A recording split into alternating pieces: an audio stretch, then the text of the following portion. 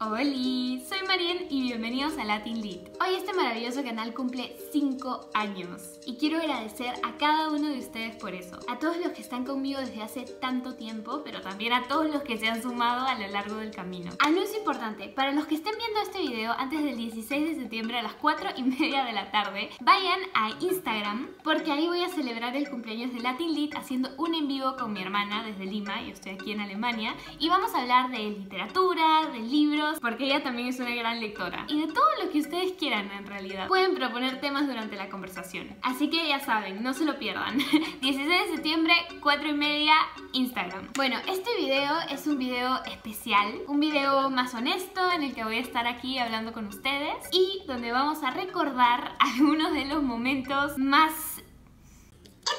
Algunos de los momentos épicos de Latin League. En verdad ha sido un largo camino y no les voy a mentir, en algún momento de mi vida pensé en, dejar de hacer videos, en hacer un último video y adiós, pero ahora estamos bastante lejos de ese momento, así que no se preocupen, hay Latin Lead para rato. Hemos vivido muchísimas cosas en estos 5 años. Hemos hecho un montón de tipos de videos de literatura, pero también hemos viajado por el mundo, hemos conocido escritores, así que ahora, hoy vamos a recordar todos esos momentos épicos, los mejores momentos de este canal y por fin van a conocer la historia completa detrás de ciertos videos. Empecemos.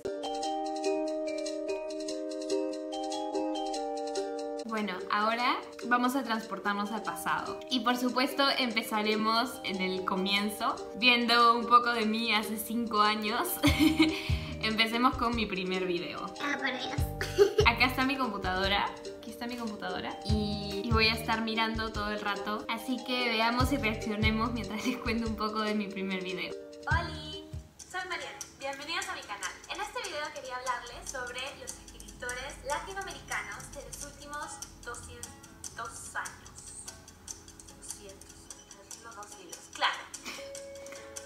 Oh, me da risa que he ido cambiando la intro, he subido el tono y cada vez va más rápido. Igual que mi voz. Hace poco descubrí que la literatura latinoamericana ni siquiera es un término famoso. ¿Qué?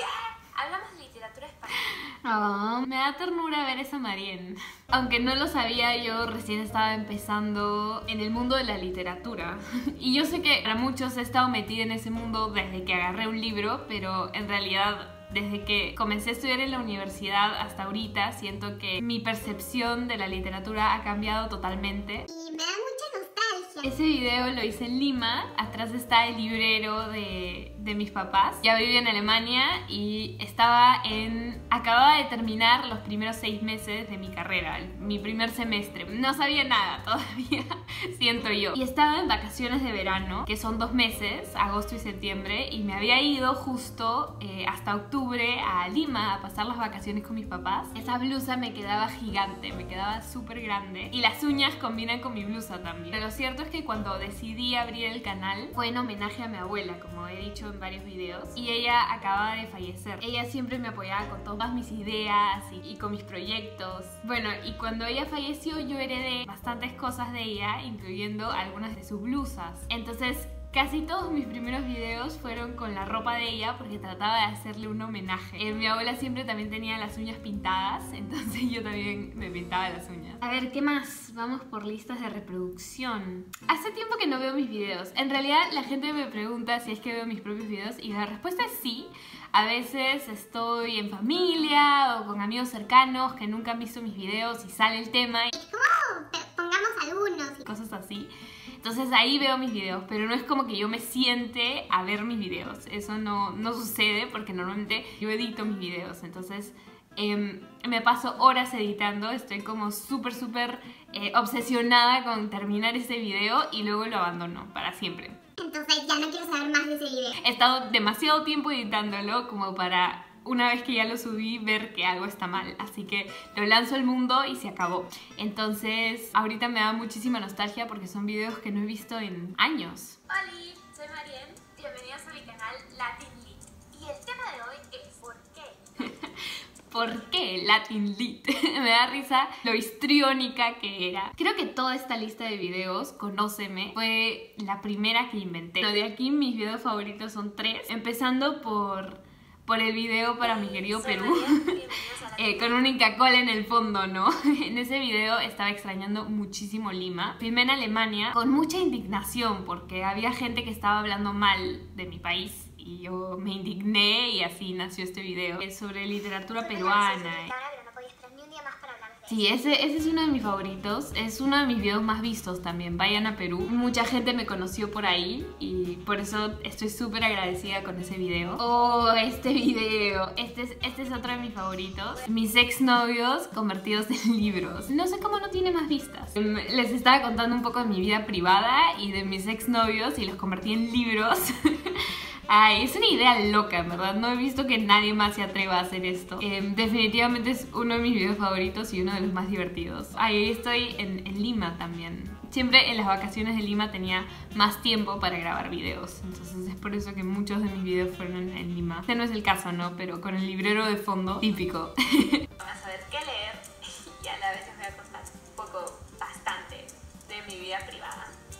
Un gran video. De esta lista de reproducción, mi tercer video favorito es este video, que me parece genial también. Ahí cumplía 20 años. Bienvenidos a Latin Lead. Hoy es mi cumpleaños, por lo que quería hacer un video personal, un video totalmente diferente. Es increíble como a veces pienso que tenemos todo el universo dentro nuestro. Y con él Filosófica. Por eso, entre más planeaba cómo contarles mi vida, más me he dado cuenta que estaba haciendo un repaso de las corrientes históricas. Es Eso fue súper, súper divertido. Cumplía 20 años, ahora tengo 25, soy una vieja. Sí, bueno, han pasado 5 años. Me veo bastante bebé. El hecho de mezclar corrientes históricas con mi vida y que vayan tan bien me parece súper creativo. No sé cómo se me ocurrió. En un par de años me gustaría hacer la segunda parte de mi vida que pasó después porque se queda como en posible. ¿no? Creo que todo es posible. El año pasado incluso cumplí mi sueño Australia. Creo que en verdad Australia. si propones algo lo puedes cumplir. Y esto me asusta un poco. Porque si es verdad que la historia se repite una y mil veces también dentro de nosotros mismos, la corriente que me sigue en mi vida es el romanticismo. ¿Ven? Falta la continuación, así que creo que en algún momento voy a tener que hacer la continuación de lo que sigue. Hablo de mi viaje a Australia. Es una pena que abrí mi canal después de haber conocido Australia, porque me hubiera gustado ver cómo son las bibliotecas ahí. Y eso me lleva a una de mis listas de reproducción favoritas, Viaja conmigo. Hemos estado en varios países. Repasemos cuáles. Hemos estado en Ámsterdam y otra vez ahí, Ecuador, Croacia,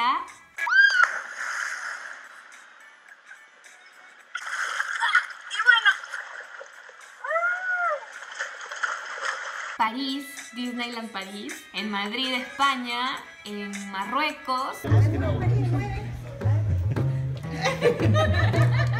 en Turquía, Que había parte 2, pero nunca la subí.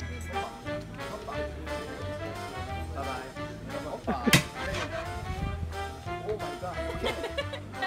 okay, okay. Oh, hold on. chocolate, vanilla, strawberry, blackberry. Nice. Nice. Very nice. Very, very, very nice. Oh my god. we. This place. Thank you. Bye bye.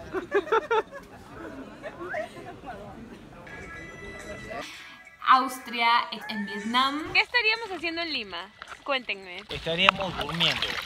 Serían las 4 y media de la madrugada. Y en vez de eso, ¿qué estamos haciendo? Estamos en medio de Vietnam, en medio de la lluvia y la neblina, en el mar, en un kayak. Y todavía encima, María Fe remando. No sabemos a dónde vamos.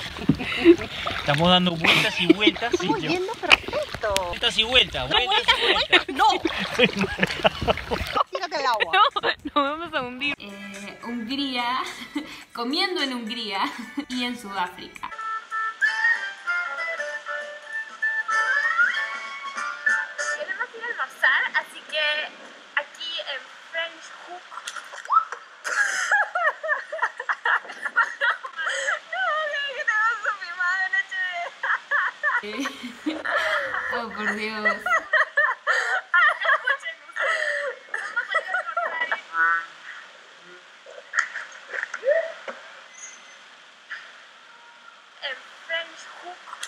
Em, estos son algunos, pero en realidad Tengo grabados otros países que nunca llegué a subir que ustedes todavía no han visto. Tailandia, Camboya, Luxemburgo e Italia. Esos también los tengo como en proceso, por así decirlo, desde hace, uy, desde hace muchísimo tiempo. Yo sé que a ustedes les gusta variar, entonces no me gusta subir como un montón de videos de viajes, sino como alternarlo. Por ejemplo, una de sus listas favoritas es em, la lista de los retos literarios, los juegos. Ahora que lo pienso ya casi no hago retos. Bueno, creo que me siento un poco vieja para eso. He tenido varios invitados especiales. Mis invitadas especiales favoritas han sido Kate y Silvana. Porque bueno, son mis mejores amigas, ¿no? Las conozco hace muchísimo tiempo y me encanta pasar tiempo con ellas. Entonces, grabar un video juntas ha sido divertidísimo. De hecho, me han mandado un mensaje para este video, un mensaje que yo todavía no he escuchado.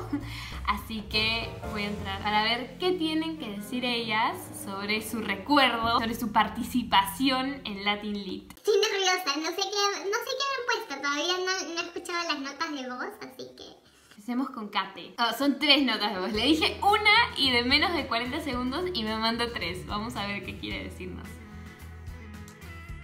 Hola, cariño. Ya.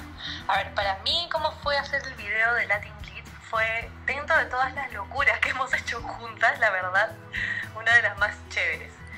Fue, fue demasiado divertido. Obviamente no me salía porque yo jamás podía hacerlo frente a la cámara, no sé qué me pasaba y nos reíamos un montón y lo repetimos como no sé 100 veces, pero fue divertido repetirlo, ¿me entiendes? Fue súper bacán, súper chévere, la pasé increíble. Además que yo me acuerdo que era una idea así que tenías como un sueño y pues ahora se ha hecho realidad y llevas 5 años en esto y está súper cool, así que las mejores vibras para ti, Megan, te ves increíble y viva Latin Lit.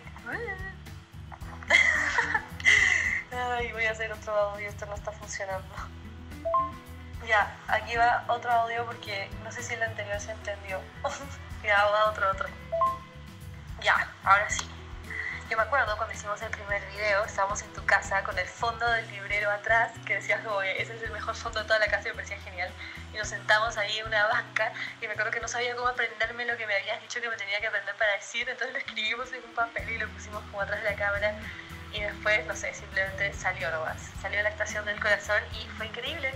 Y me encantaría hacer otro, pues me podríamos hacer algún día uno a la distancia, o no sé cómo haríamos, de aquí a Chile, de aquí a Perú, aquí al mundo, tengo que ir a visitarte de todas maneras. Te quiero, cariño.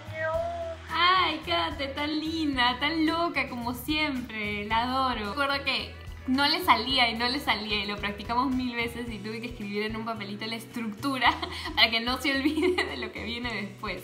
Porque como a ella también le gusta leer y el video que hicimos juntas era de desventajas y ventajas de leer, tuvo que escribir las desventajas antes y planear qué iba a decir porque ni ella ni yo creíamos que existían desventajas de leer. Por si acaso, si me gusta leer, lo que dije sobre el video, y un video súper estructurado, bien pensado y es uno de mis videos favoritos. Ahora veamos qué dice Silvana. Hello, soy Silvana.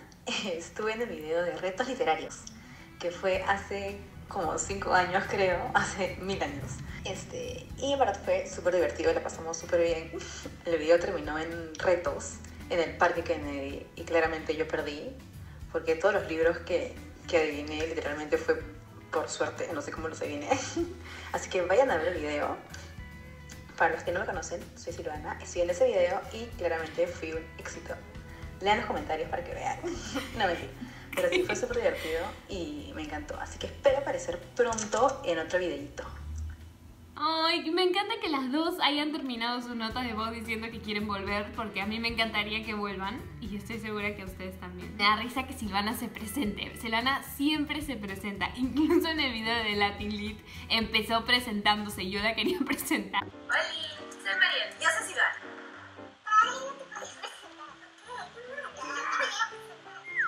Bienvenidos a Latin. De tres personas, X, X, que estén por ahí.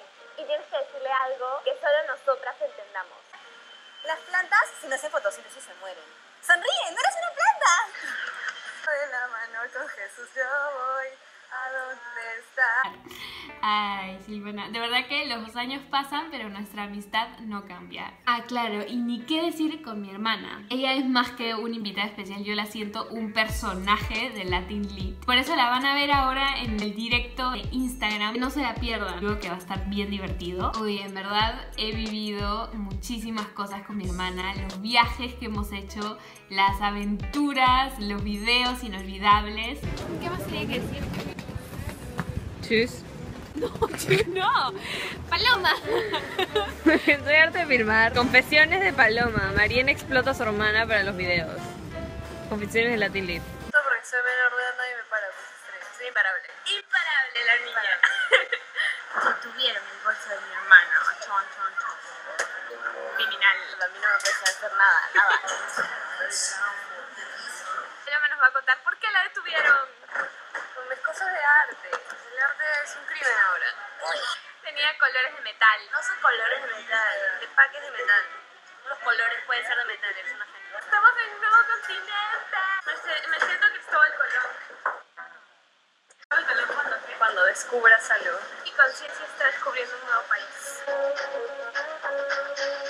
Un montón de ternura. Uy, un momento increíble que hemos vivido fue precisamente cuando llegué a 10.000 suscriptores e hicimos esa donación eh, de libros a niños de aldeas infantiles y gracias a ustedes recolectamos un montón de libros y luego los fuimos a dejar eh, con Gloria María Solari, que es una mentora para mí, eso fue encanto. Y otro es cuando dije, voy a ir a la Feria del Libro de Lima, voy a estar en la cafetería con mis cuentos y de pronto vinieron muchísimos de ustedes, fue lindísimo, la pasamos genial, me encantó conocerlos, ese para mí hasta ahora fue uno de los mejores momentos de Latin Lit. Ah, bueno, otra cosa que hemos hecho es conocer diferentes autores, diferentes escritores, seguramente conoceremos más, ¿no? Bueno, hemos conocido a Renato Cisneros, a Diego Treyes, Juan Manuel Robles. a Laura Restrepo, una de mis favoritas fue con Juan Gabriel Vázquez. Siento que esa entrevista salió súper bien. Fue bastante profesional. Siento que se puede aprender un montón hablando con él. Lo último que quería recordar, porque bueno, no nos vamos a poner a ver los 76 videos de estos 5 años, pero algo que me da muchísima nostalgia, de lo que estoy orgullosa es del Nobel Challenge. Era bien chévere porque hacía reseñas de, de libros de autores que han ganado el premio Nobel. Entonces hablamos de ¿Quién mató a Palomino Molero? de Vargas Llosa, El habitante y su esperanza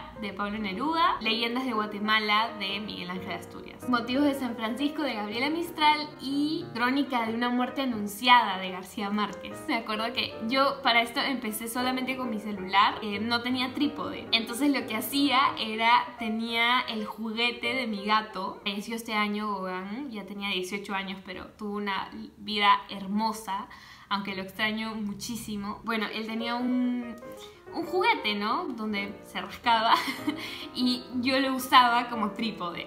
Y a veces yo estaba grabando y él venía y comenzaba a rascar y se movía todo y tenía que volver a empezar. Era súper frustrante, pero no me importaba porque me moría de ternura con mi gato y me ponía a jugar con él y todo y ya dejaba el video para dentro de un rato. Bueno, algo que quiero hacer para ustedes en el futuro en este canal es volver al comienzo. Quiero recuperar la esencia de los primeros videos eh, y ahora sé mucho más de literatura, entonces siento que puedo hablar mucho más profundamente de los libros. Así que me gustaría hacer una nueva lista de reproducción con algunos clásicos latinoamericanos, con bastante contenido, muchos datos curiosos y por supuesto mucha diversión. Eso siempre. Podría empezar, por ejemplo, algunas novelas que se me vienen a la mente son El túnel de Ernesto Sábato y Rayuela de Julio Cortázar, que siempre los recomiendo, pero nunca han tenido su propio espacio. Entonces podría empezar con esos. A partir de octubre, noviembre, porque también tengo que terminar mi tesis de maestría, pero esa es otra historia. A estas alturas, creo que solamente puedo decir gracias. Muchísimas gracias por todo. Han sido cinco años inolvidables y ojalá el canal siga creciendo. De hecho, estamos a punto de llegar a 20.000 suscriptores. Me gustaría mucho llegar a 20.000 suscriptores en el 2020, porque es 2020. Sigamos creciendo juntos y celebremos dentro de algunos años los 10 años de Latin Lit. Estoy segura de que si me ayudan podemos lograr muchísimas cosas más. Y miren todo lo que hemos logrado hasta ahora. Bueno, que tengan una linda semana. Nos vemos mañana en el en vivo con mi hermana. que todo les vaya bien. Les desea Mariel. Tschüss.